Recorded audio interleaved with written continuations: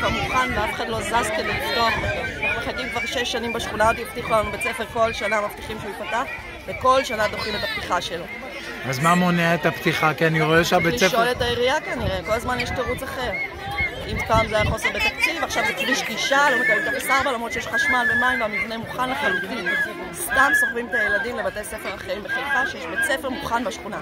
כבר הוחלט שייפתח בית ספר, כבר בנו אותו, אין שום סיבה שהוא לא ייפתח בספטמבר הקרוב.